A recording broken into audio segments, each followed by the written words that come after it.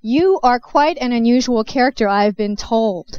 Uh, your music has been described as cosmic, intergalactic, and a host of other terms. How would you describe your music? Well, it's the music of infinity. That's a simple term about it. It uh, is creative, improvisational at times, and it's uh, not part of the future. It's part of the alternative future.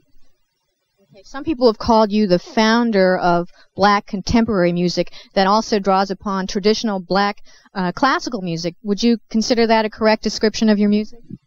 Well, I'd say a lot of people have been trying to imitate me because they thought it was my ego speaking of infinity, but I changed so fast on them, they're beginning to wake up and see they can't copy it. It's one of a kind, it's indescribable. Yes, it's because it's about infinity and eternal things. And that's why a lot of people haven't caught up with that because they're dealing with uh, the past and the present.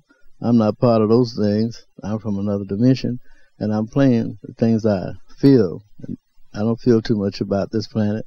I feel other things, and that's what I'm playing. And we're going to be uh, talking more about that concept later. That you've been called the jazz man from another planet. Um, you have uh, also been described as uh, well someone who combines a whole different style of music. What are you going to perform for us today? Well, um, I'm I'm going to perform what I feel. I always do that. That means I don't know. You don't know.